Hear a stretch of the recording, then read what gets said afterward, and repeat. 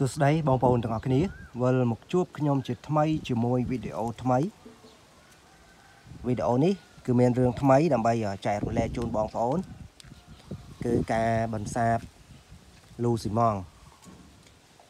អញ្ចឹងការបន្សាបលូស៊ីម៉ង់នេះខ្ញុំបង្ហាញបងប្អូនហ្នឹងគឺជារឿយរឿយបាទច្រើនដងណាស់មកហើយដែរតែអ្វីដែលប្លែកនោះខ្ញុំសង្កេតឃើញថាការបន្សាបលូស៊ីម៉ង់ យើងប្រើបាទយើងប្រើទឹកដងយើងប្រើទឹកដងហើយយើងដាក់ដើមចេកដាក់អាចគោអញ្ចឹងពេលដែលបាន3ទៅ4ថ្ងៃវាកើតបាទវាកើតជាអត់ដង្កូវទឹកណាបងប្អូនបាទដង្កូវទឹកហើយវាកើតតែដង្កូវទឹកទេចំណែកកន្លែងនេះកន្លែងនេះគឺខ្ញុំដាក់ទឹកស្រះបងប្អូនទាំងអស់គ្នាបាទដាក់ទឹកស្រះទឹកស្រះទឹកបៀយើងហ្នឹងណា ទឹករៀងហៅថ្លាខ្ចងបាទហៅថ្លាខ្ចងហើយខ្ញុំដាក់ដូចគ្នាចឹងដែរគឺដើមចេកហើយនឹងអេចកូ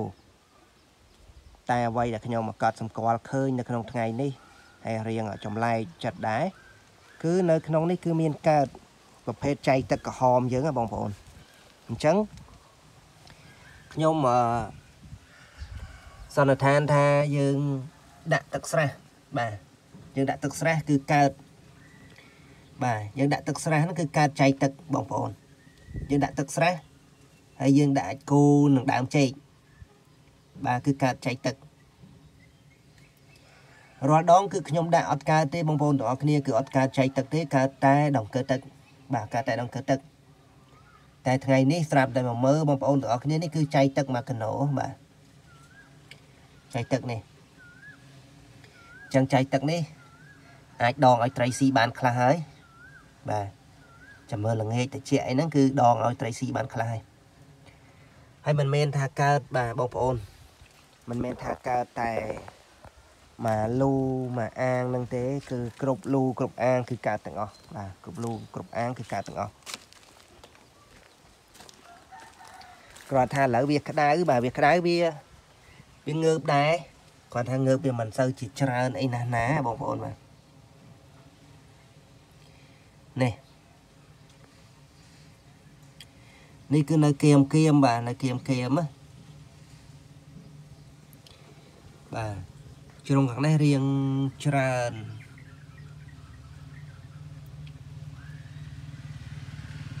បាទវារៀងចាងថ្ងៃតិចបងប្អូនទាំងអស់គ្នាបាទ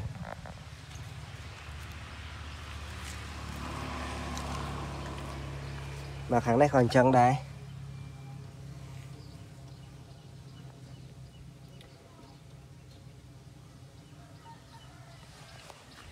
ចឹងអឺយើងអាចបាទយើងអាចបង្កើតចៃទឹកក្រហមបាន តាមវិធីមួយទៀតបាទវិធីថ្មីមួយទៀតដែលវិធីហ្នឹងគឺទៅតែដឹងឥឡូវឥឡូវហ្នឹងទេបងប្អូនទាំងអស់គ្នាហើយក៏ងាយស្រួលដែរ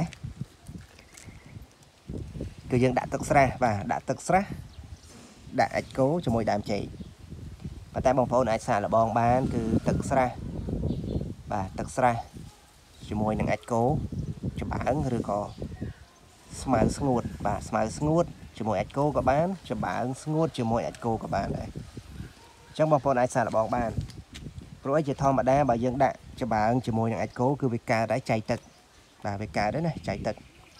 ហើយយើងដាក់ទឹកបាទអានេះយើងដាក់ទឹកម្ដងបាទធម្មតាគឺខ្ញុំប្រើទឹកម្ដងប៉ុន្តែ ទឹកស្រះនិយាយចំគឺវាកើតច្រើនជាង បាទហើយវាងាយស្រួលកើតជាងអញ្ចឹងអាចមើលលើក្រោយបាទខ្ញុំនឹងដាក់ទឹកស្រះបាទដាក់ទឹកស្រះដើម្បី យើងអាចបានចៃទឹកដោយសារនៅនេះខ្ញុំប្រើប្រភេទទឹកស្រះអត់ដូចទៅកន្លែងដើមទេកន្លែងដើមគឺប្រើទឹកម្ដង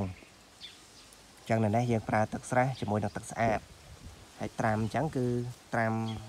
ទឹកស្រះបាទត្រាំទឹកស្រះបងប្អូនទាំងអស់គ្នានិយាយទៅឲ្យតែយើងធ្វើបាទ10លូហើយអាចបានចែកទឹកដោយតែខ្ញុំ